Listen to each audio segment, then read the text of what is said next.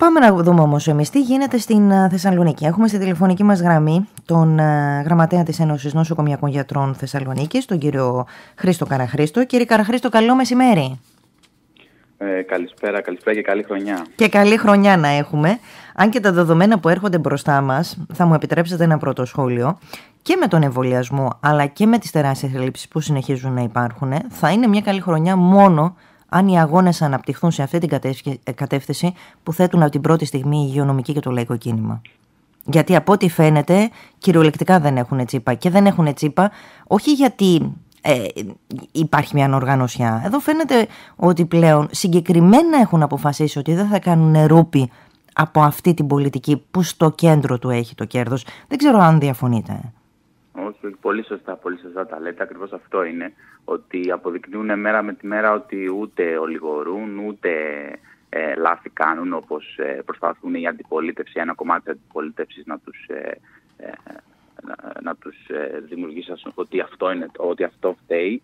Ότι φταίει συνολικά η πολιτική που ακολουθούν, όπως και οι προηγούμενες κυβερνήσεις, που αφήσαν το Εθνικό Σύστημα Υγείας ανοχήρωτο ε, που και από την άλλη όμως το ιδιωτικό τομέα της υγείας δούλευε και συνεχίζει να δουλεύει σε βάρος ε, των, mm-hmm. της υγείας του λαού.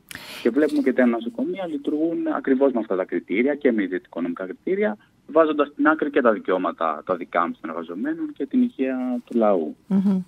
Πριν μας εξηγήσετε ποια είναι η κατάσταση που επικρατεί και στα νοσοκομεία μας και αυτό το διάστημα, θα ήθελα ένα πρώτο σχόλιο. Αντικειμενικά και χθες με την ενημέρωση από πλευράς του Υπουργείου Υγείας για τον εμβολιασμό, μπαίνουν πολλά ζητήματα. Πλέον ξεκινάει και η διαδικασία του εμβολιασμού των 85 και άνω.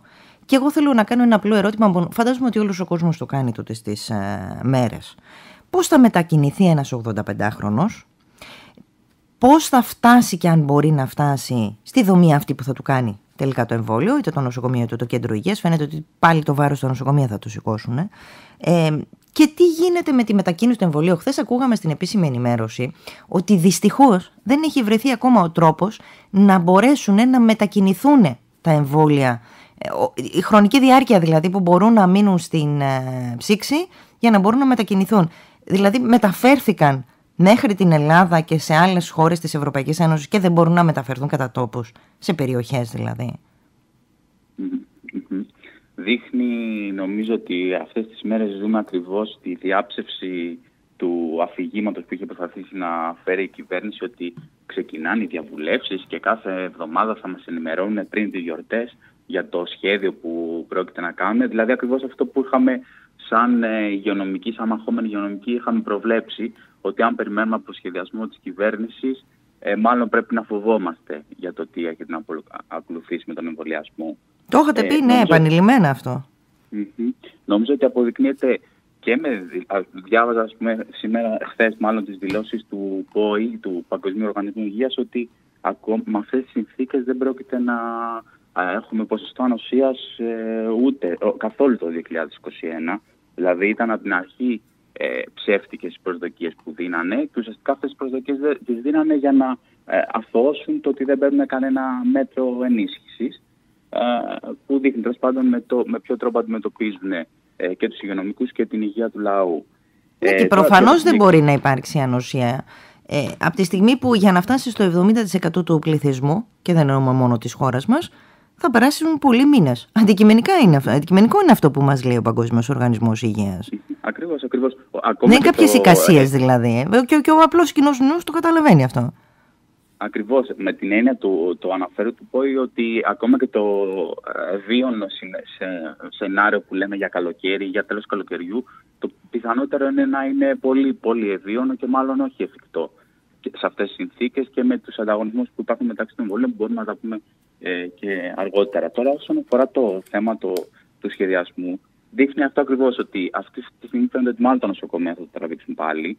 Ε, καθυστερούν να μας ενημερώσουν ποια είναι τα βολιαστικά κέντρα. Σιγά σιγά φαίνεται ότι το μεγαλύτερο κομμάτι θα είναι στα νοσοκομεία. Σιγά σιγά φαίνεται ότι δεν έχουν προχωρήσει σε, καμία, σε κανένα απόλυτο σχεδιασμό, ούτε με προσλήψεις νέου προσωπικού, ε, ούτε με οργάνωση το πώς θα γίνουν και τα συγκεκριμένα προβλήματα αυτά που λέτε, της, ε, της μετακίνησης των 85χρονων και άνω ή πολλών ασθενών που έχουν κάποιο πρόβλημα, το χρονίος πασχόντων που δεν μπορούν να βγουν από το σπίτι, που δεν βγαίνουν από το σπίτι, ή ατόμων με, με αναπηρίες. όλα αυτά μάλλον μπαίνουν σε δεύτερο πλάνο και αυτή τη στιγμή όποιος μπορέσει και όποιος, σε όποιον θα φτάσουν τα εμβόλια αυτός θα το, θα το κάνει από ό,τι φαίνεται. Ε, Πάντως αν υπήρχαν κέντρα υγείας επανδρομένα, ενισχυμένα και όχι αποδυναμωμένα ακόμα περισσότερο αυτή, αυτό το διάστημα γιατί έχουν μεταφερθεί οι γιατροί και οι νοσηλευτές και το προσωπικό προς τα νοσοκομεία. Αν υπήρχαν τα περιφερειακά ιατρία σε κάθε περιοχή και σε κάθε χωριό σε ολόκληρη την χώρα αυτή η διαδικασία δεν θα μπορούσε να έχει γίνει; Άμεσα. Ε, ναι, πολύ σωστά. Τα πρωτοβάθμια, η πρωτοβάθμια φροντίδα υγείας και τα κέντρα υγείας, ε, αυτή τη στιγμή, πέρα του ότι ήταν όλο το προηγούμενο διάστημα. Ε, Έτσι όπως όλοι ξέραμε ότι ήταν. Ναι, ακριβώς. Πολλοί γιατροί και πολύ νοσηλευτικό προσωπικό έχει πάει στα νοσοκομεία για να μπορέσει να καλύψει τις ανάγκες που υπάρχουν εκεί πέρα. Ε, και δεν έχει προβλεφθεί κόσμος που να μπορεί να καλύψει αυτές τις ανάγκες, που αυτή, αυτή τη στιγμή οι ανάγκες είναι πολλαπλάσιες με τον εμβολιασμό τόσο μαζικού πληθυσμού. Και εδώ όταν ε, μιλάμε για εμβολιασμό δεν μιλάμε μόνο το τσίμπημα, έτσι, για να γίνει η διαδικασία του εμβολίου. Μιλάμε και για όλη την υπόλοιπη διαδικασία παρακολούθησης του ανθρώπου που θα εμβολιαστεί. Έτσι δεν είναι; Ακριβώς, ακριβώς, ακριβώς, πολύ σωστά. Και τις, τις πιθανόν παρανέργειες που θα είναι ε, και τη μελέτη και της ε, ανοσίας που θα υπάρξει. Γιατί ακόμα τα αποτελέσματα ε, φαίνονται, θα φανούν σταδιακά μάλλον, δεν είναι δεδομένα και για το επόμενο διάστημα ε, και για το πόσο θα κρατήσει η ανοσία και για το ε, πότε, αν θα πρέπει να ξαναγίνει ο εμβολιασμός και όλα αυτά που δεν έχουν απαντηθεί ακόμα από την ιατρική κοινότητα και θέλουν παρακολούθηση. Και από ό,τι φαίνεται δεν θα γίνουν με, με σχεδιασμό, ε, αν, δεν, αν δεν πιέσουμε τέλος πάντων. είναι το, το κρίσιμο. Mm-hmm. Ε, οπότε είναι όλα αυτά τα ζητήματα που δείχνει ότι δεν υπάρχει, ε, δεν υπάρχει επάρκεια καταρχήν των εμβολίων.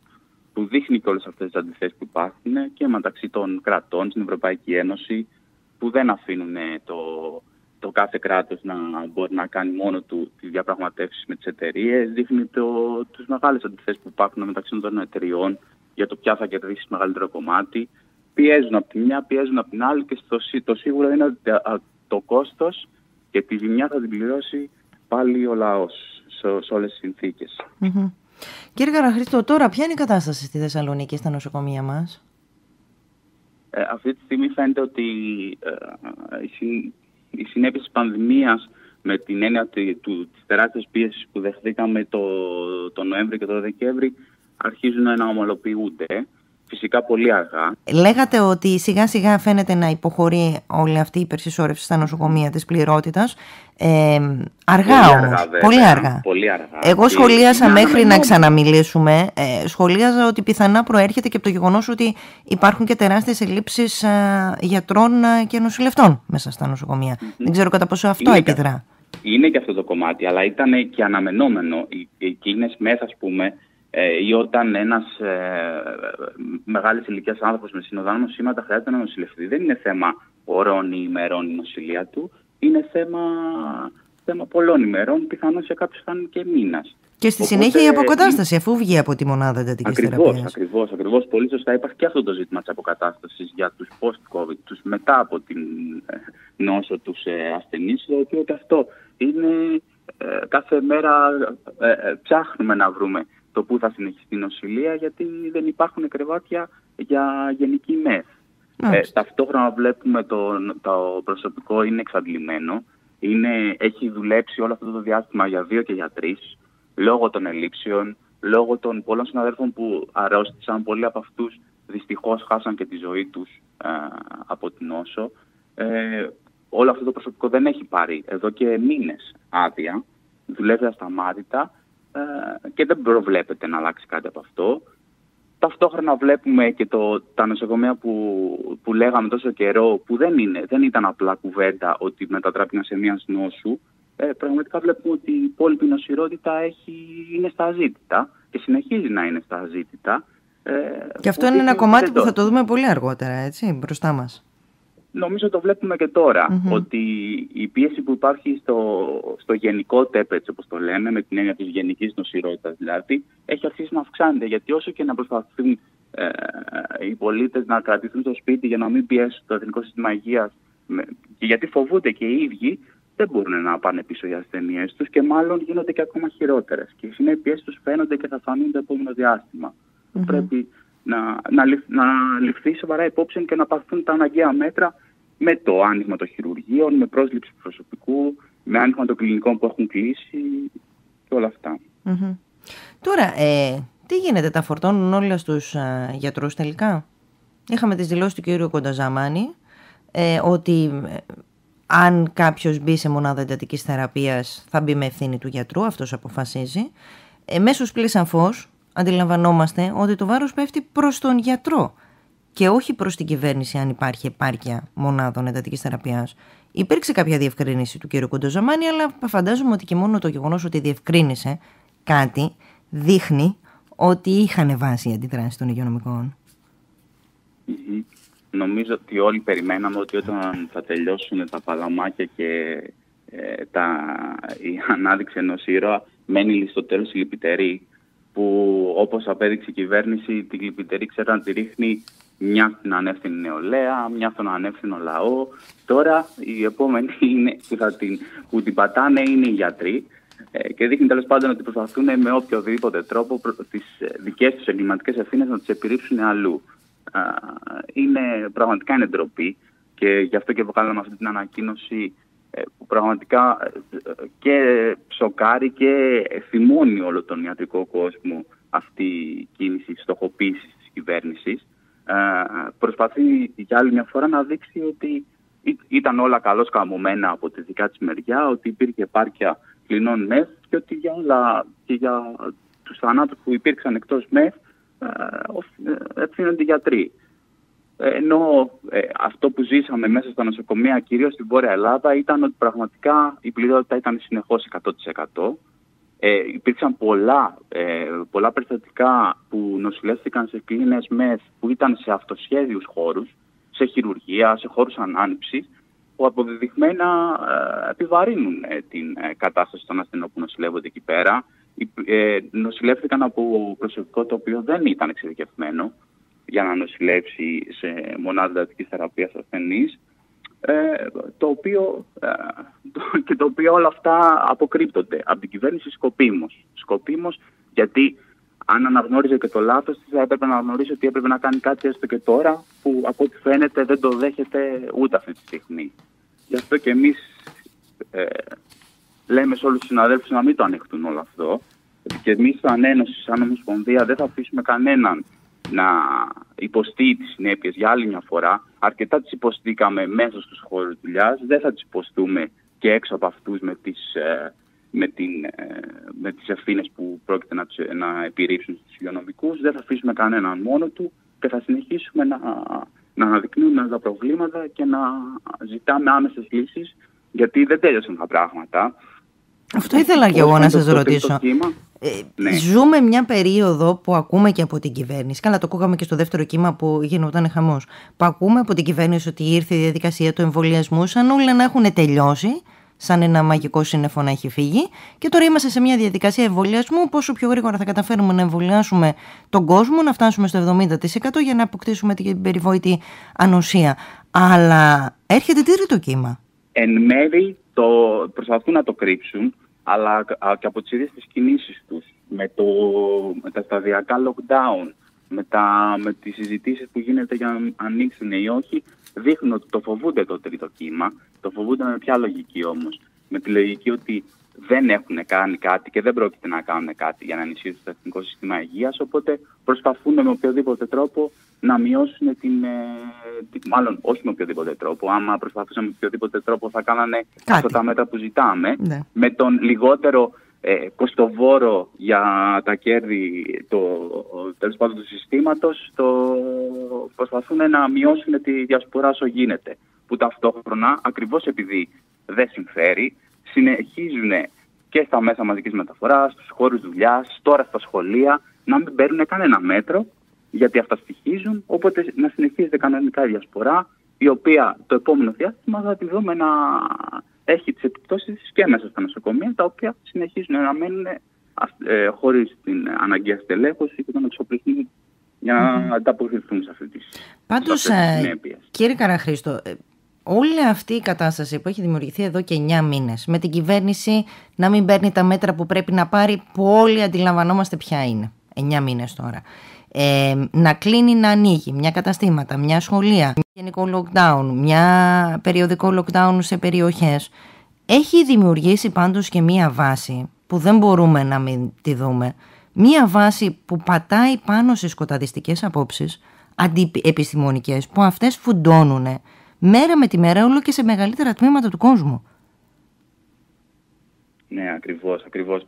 Ε, αυτά, αυτό, αυτό το γεγονός φαινόταν ήδη και κατά τη διάρκεια του Μαρτίου με τις παλινοδίες, το αν χρειάζεται μάσκα, αν δεν χρειάζεται μάσκα, ε, με τις ε, παλινοδίες του ότι ε, κολλάει και κλείνουμε τα μικρομάγαζα και ενώ στους μεγάλους χώρους δουλειάς δεν υπήρχε καμιά τέτοια στα μέσα μαζικής μεταφοράς, ε, στο ότι ε, κλείνουν, τους, ε, ε, κλείνουν τη μετακίνηση μεταξύ νομών, αλλά στο, στο Ντουμπάι και στο εξωτερικό μπορούν άνετα να πηγαίνουν ε, οι έχοντες, ε, που, που ακριβώς αυτό το πράγμα δημιουργεί την δημιουργεί ερωτηματικά και είναι ό,τι πρέπει έδαφος για να...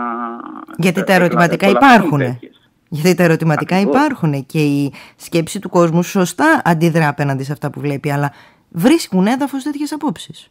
Ακριβώς, βρίσκουν έδαφος τέτοιες σκοταδιστικές αντιλήψεις και ε, το χειρότερο είναι ότι η κυβέρνηση για να μπορέσει να ε, δικαιολογήσει αυτά τα μέτρα που παίρνει χρησιμοποιεί και επιστήμονες που, που, που δικαιολογούν τέλος πάντων αυτά τα μέτρα που δεν δικαιολογουνται Οπότε είναι λογικό να δημιουργούνται αυτά τα ερωτήματα, αλλά δεν είναι η απάντηση ότι, ότι η λύση είναι να είμαστε ενάντια στο εμβόλιο ή ότι δεν υπάρχει κορονοϊός ή ότι δεν είναι σοβαρός. Ότι η λύση είναι να πάμε ενάντια σε αυτές τις ε, πολιτικές που θέλουν το Εθνικό Σύστημα Υγείας ανοχήρωτο που θέλουν τη διασπορά να συνεχίζει ε, χωρίς κανένα ανέλεγχο στους μεγάλους χώρους δουλειάς και τα μέσα μαζικής μεταφοράς και τα σχολεία, να πάμε ενάντια σε αυτές τις πολιτικές και να στηρίξουμε τα δίκαια αιτήματα των υγειονομικών για, για όλα αυτά που mm-hmm. προείπαμε.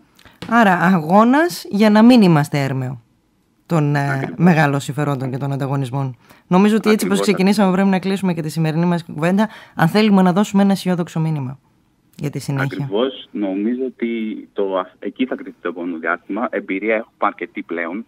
Κανένας δεν ε, έχει τη δικαιολογία πια ότι δεν ξέρει να αντιμετωπίσει αυτή την κατάσταση. Υπάρχει ε, η εμπειρία και πρέπει να πιέσουμε, να αγωνιστούμε, να διεκδικήσουμε τα αναγκαία μέτρα προς αυτή την κατεύθυνση στο και να, να μειωθούν οι συνέπειες της πανδημίας για να μπορεί το Εθνικό Σύστημα Υγείας να ανταποκριθεί σε αυτό. Mm-hmm. Και κανένας δεν περισσεύει από αυτόν τον αγώνα. Αυτό είναι το μόνο Λοιπόν, να ευχαριστήσουμε πολύ. Καλή χρονιά να ευχηθώ. Να είστε, καλά, καλή δύναμη για τη συνέχεια. Γεια σας.